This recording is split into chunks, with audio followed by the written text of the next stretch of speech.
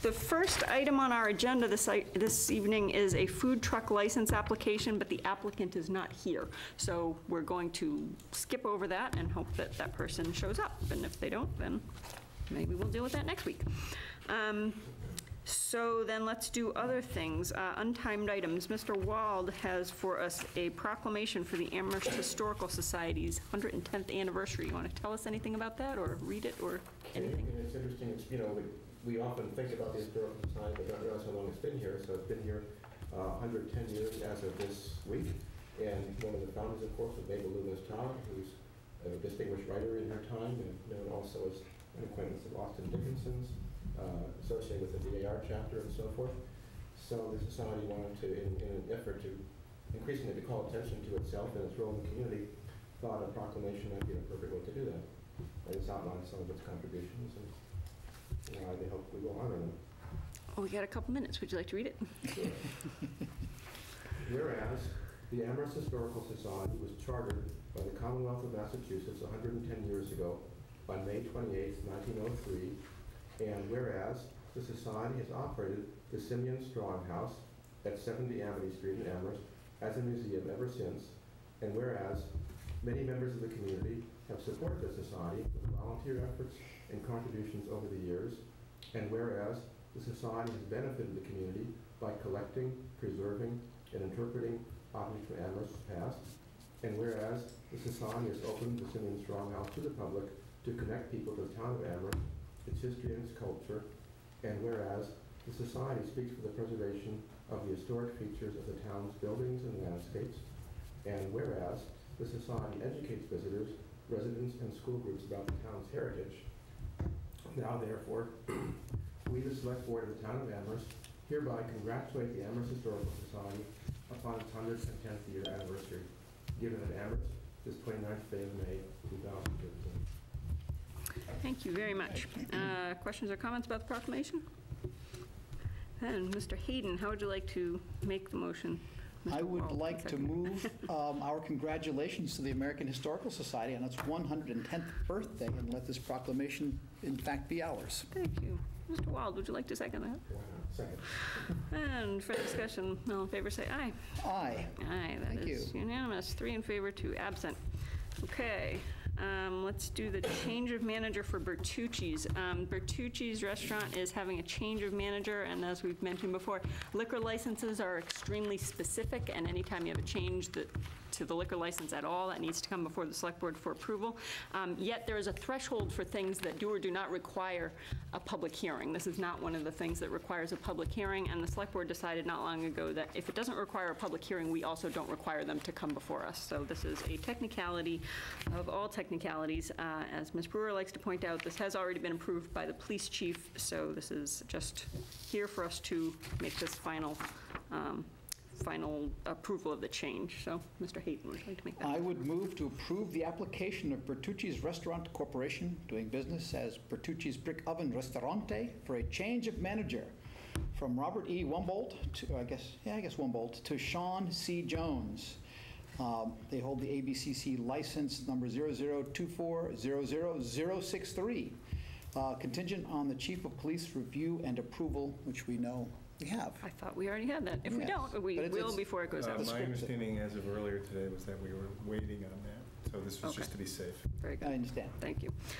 All right, uh, Mr. Wald, would you like to second that motion? Second. And uh, further discussion. All in favor, say aye. Aye. Aye, that's unanimous. Three in favor, two absent. Will they still do their Thursday night fundraisers, do you suppose? Tuesdays, Tuesdays, Tuesdays actually. fundraisers, Yes, yeah. gosh, I hope so.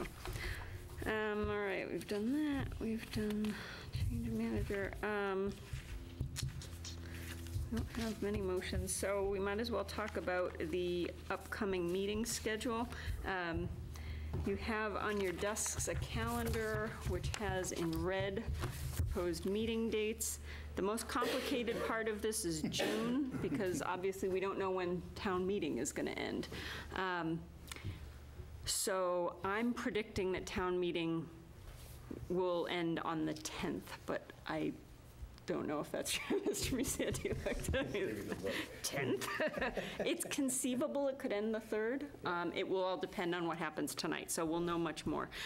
What I'm proposing is that we, we approve both meetings on the 10th and the 24th. It's conceivable that if we end on the 3rd, that we can get all of the stuff done that we need to get done on the 10th and then not have to meet the 24th, but not necessarily. Um, So we kind of need both of those. Um, we have, so Mr. Wald is going to miss the 10th, unfortunately. The 17th, uh, Mr. Musante believes he would miss. We really can't have much of a meeting without Mr. Musante. Uh, And both Ms. Stein and Mr. Wald will miss the 24th. So we're, we're in kind of tough shape for June, and I will try and um, accommodate all of that as, as we deal with, as we kind of distribute the agenda items, hopefully making the big agenda items for July 29th, when we expect to have a, a full complement of select board members. So 10th and the 24th in June, I'm proposing uh, the 29th of July. That takes into account everybody's um, vacation schedules as they submitted to me. Um, Last year, we met only once in July and once in August, plus the evaluation meeting, so this mirrors last year's meeting schedule. Our July meeting last year was kind of more in the middle of the month, but I don't think it necessarily makes a difference when we meet, especially since on the 29th, we could have all of us, which would be good. Um, so, and we usually don't uh, do September at the same time we do these, but I particularly wanted to get on folks' calendars September 30th because the Kanegasaki mayor is going to be here then. So the Kanegasaki Sister City Committee has requested that we hold a meeting on that night so that those folks can be there, be part of our meeting. Um, So that, that was kind of a fixed date that we wanted to help plan around. So, um, so the other meeting I propose in September is the 16th. Um, We know that, and we did this last year, but that by having an abbreviated summer schedule, we recognize the fact that that might call for um, quickie meetings, we call them, to, uh, to deal with a a parking request or a special liquor license that might come in between meetings. Um, But summer is kind of a blessedly quiet time, and we have been doing this together as a group for several years, and we do kind of have down uh, uh, what our summer looks like. So, and the main thing that we're doing during that time is the town manager evaluation process, plus, of course, everything else that comes up in the meantime. Um, But typically, that's not too much. So the dates are as proposed, June 10th, June 24th, July 29th, August 19th and 26th, and September 16th and 30th. Anybody have any issues, questions about this? No. No? Mr. Hayden, would you like to make a motion? Can I just move to approve those dates? You can. Mr. Wald, would you second that? All right. All in favor, say aye. Aye. Aye, and that is unanimous, three to zero, two absent. All right, let's see. Um, Recent food truck issues, um, I've got that on there just for, uh, because this was an open issue at a meeting a couple of weeks ago, when the Chamber's request came in for the Taste of Amherst. um, As we were considering the request, Ms. Brewer brought up the fact that the letter asked whether or not um, food trucks could be prohibited from parking in the perimeter of the common during that time. And we were kind of in full town meeting mode, and I said, you know what, just deal with the parking part of it, we'll put that off for future consideration. In the meantime, we realized that, in fact, they did reserve the perimeter of the common anyway, so anybody who reserves that, that parking, that parking is not open to, to anyone. So that was, the chamber was looking for clarity on the fact, just confirmation essentially, that since they, they have reserved that parking, that it is not open to food trucks during that mm-hmm. time, so hence, that is true. So just so folks know, that is the closure on that issue. Um, We also had an issue um, last week with a vendor who wanted to move during the fair, a sidewalk vendor, the halal truck wanted to move during the fair to a different location, um, one of the approved sidewalk locations.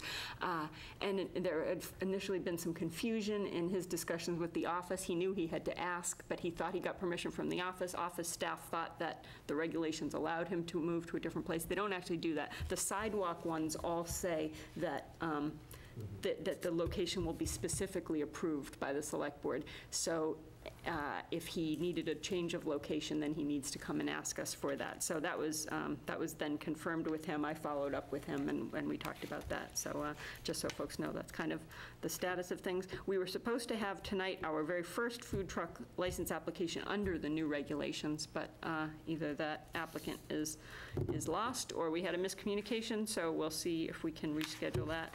Um, Any questions or comments from anybody about food truck issues? Yeah, just. One one quick, I want to note that uh, regarding the food truck and the Taste of Amherst, that Section 3, Part A1, the- says on-street lunch carts may use any of these locations and move freely among them. So it's not that we're prohibiting um, the the lunch truck from operating, just from parking um, uh, in a reserved place. That's correct. And, uh, and part of the regulations is that no one is guaranteed a spot. I mean, if those, if Right. those spaces are filled with cars on any given day, never mind an event, then, Yeah. you know, you're out of luck. Um, If you want a really permanent location, then you would get a storefront, you know, I mean, that's And the way and it they may not works. have understood that now. It'll be- Right. So, you know, we're all kind of working through this. These are new, new rules for the town, uh, a a new, um, a new food trend for the community. So uh, we're working through the details of this and the interpretations of it, and so I think we're doing okay. Any other questions or comments about food trucks? No? Okay. Then, uh, logistical issues related to town meeting. Um, We have not been formally notified about um, any motions under the different articles. Um, Mr. Wald had mentioned to me that he's heard of a potential motion to refer Article 42, uh, which is the Echo Village um, article. Because we don't have a formal request to, would we want to prefer, would we want to take a formal position, or would we want to just not, since we don't have a request? um, at the select board's consideration. Mr. Hayden? Um, I'm, I'm going to make a suggestion that we not, for two reasons. One is we're not all here, and, and second, that um, a referral, really, it's a kind of a town meeting uh, request. And, and I think we can go on record saying we'd accept it, just not recommend it or not, Not have a position? not, you know, not take a position on it. So how about that? Okay, Mr. Wald? I mean, I, I think, I'm not sure if it came to the other committees either, just that there was some talk Yeah. about that. I mean, I might say, Nothing concrete to do, so I think Mr. Hayden's correct. Okay, Especially if Mr. Brewer absent. all right. Mr. Hayden? I might say that, uh, sort of as a follow-on to the comments I made when we first heard that, uh, uh, that article when it was brought to us, that I think I'd welcome it as well, so we can, you know, do some things that I think would help it. Um, Other logistical issues for town meeting. Um, Ms. Stein, as we know, is not here. She has, she has sent in um, two minority reports, asked me to read those. Those are for uh, Part C of Article 24, the CPA article that will begin our considerations tonight. It will start with Part B, but so her minority report is for Part C. Um, Additionally, Article 43, she has a minority report on, so I will be reading those on her behalf. Um, uh, just point of information for folks, so we recognize that tonight is the 29th, Monday is the 3rd. We do not have the auditorium reserved for Wednesday, the 5th. So we, if town meeting continues, of course, it will continue beyond tonight, that would be on Monday, the 3rd. It would then, if it continues again, if, might not, but if it continues again, it would continue to Monday, the 10th. Now, we don't even want to go there, but if it continued beyond that, we also don't have Wednesday, the 12th. Th- These are times that the auditorium was previously reserved for, um, for end-of-year school activities. So uh, the, the next couple of dates, as are noted at the bottom of your agenda, it's the 3rd, the 10th, the 17th, and the 19th. So by the 19th, we have a Wednesday reserved again, but so help us if we're still doing this on the 19th. But you never know. So these things take as long as they need to take. Um, Any other questions, comments, or issues regarding town meeting logistics? Mr. Musante? Just an update, uh, the CPA committee was meeting this afternoon at 5:30. I don't have an update from that meeting yet, but they were going to be informed by uh, Dave Ziomek that the,